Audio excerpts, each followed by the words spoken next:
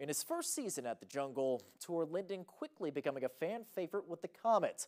But now Linden is opted to continue his career overseas. The Swedish program Mora IK announcing on Saturday that they have signed Linden for next season. The forward leading the Komets with 27 goals while also adding 33 assists this past season. Linden was also named the Rookie of the Year by his teammates at the Komets' end of season awards.